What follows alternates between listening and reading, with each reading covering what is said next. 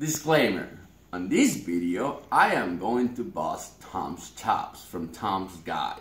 Now, with that being said, let me tell you, I admire him. He's one of the smartest guys in the industry right now. However, he did say something wrong, so here he goes. Hey guys, this is Jordi from Forward3Dprinting.com. Today, I want to talk to you about proximity sensors. What brought this on is that about two months ago, Tom from Tom's Guide put a video called Sensor Showdown. And he had, you know, Mythbuster styles. His sixth myth was could you or could you not trigger these particular sensors with aluminum foil or aluminum tape.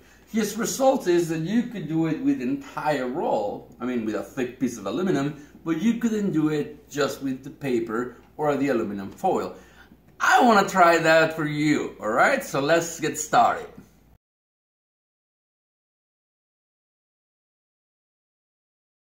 For test one, I have hooked up our, my 4 millimeters to a 12, power, 12 volt power supply and I'm going to do just what he did. The first thing he said is that if you had the entire roll, you can make the sensor sense it. Like and by that, I'm going to refer you can make the sensor trip. If you hear me say that, that's what I mean. You can see the light, and you can see the distance in between the sensor and the actual aluminum roll.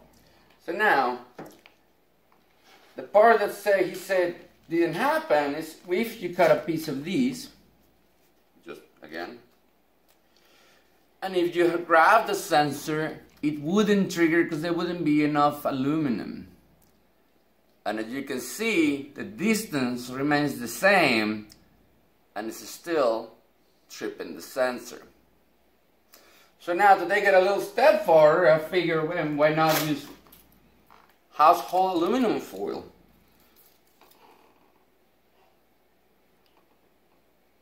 As you can see, it also triggers. So what we're going to do now is we're going to test number two and figure out what the results with that. Maybe all sensors are different.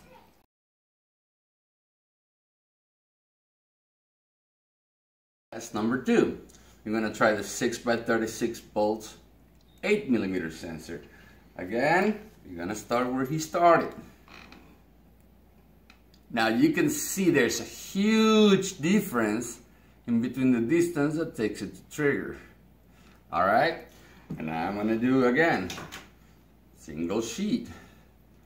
And as you can see, it triggers right about the same distance. Again, I don't have any calipers for, I don't have any object that I can show you specifically because I don't have anything else clear and 8 millimeters. But you can see it's triggering. And the last test, as always, we're gonna grab our Common household aluminum foil. And it triggers just the same. So for test three, I'm going to show you this particular sensor. Now, because I have this sensor attached to my actual machine, why show you flashy lights? Let's go ahead and make an actual test. I'm going to put this piece of glass, which is from another one of my printers where I'm very attached to, right here, and I'm gonna see if I can trigger the sensor just with aluminum foil and with the aluminum tape. Now, there is risk involved in these. If my calculations are wrong, I am going to break this piece of glass, which is, and I'm going to break my printer. So again, this is how much faith I have in these sensors. So let's try that.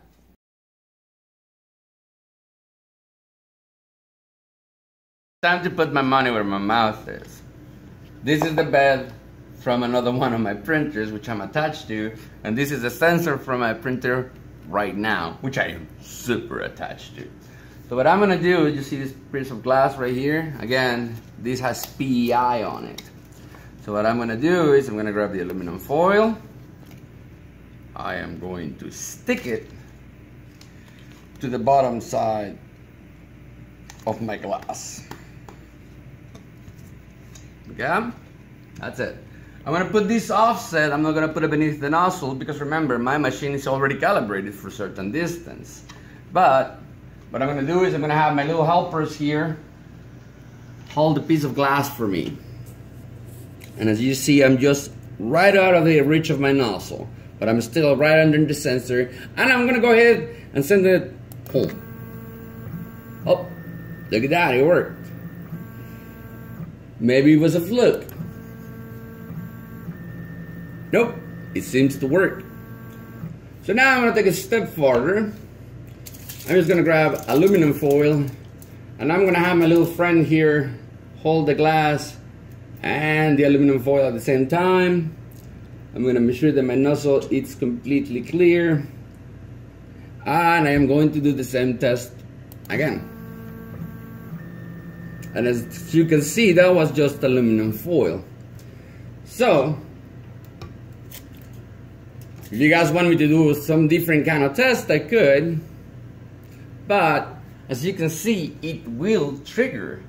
One of the things that I found really funny, let me disappear from camera for a second, is this box from the aluminum foil has some type of metal to make this shine. And one of the things that I found really funny when I was uh, playing with the things is like, it will actually trigger your sensor. So there is a lot of metal in there or enough aluminum, I don't know what the metal that they made, cardboard, like to make the color, but there's enough of it to trigger your sensor. So Tom, I'm sorry to debunk in this one. Maybe your sensors are your soul, or maybe, just maybe, not all sensors are the same. However, every sensor that I own, which they're all from Amazon and AliExpress, they all seem to work. So with that being said, I hope this video is instructional. It's just not to bust Tom. It's to teach you that there is very easy ways to auto level the bed and not everybody has all the knowledge. Have a good day. However, before you leave, let me remind you, everything you do, do it as you are doing it for God. Nothing else really matters if you don't. And keep your glass clean, keep on 3D printing.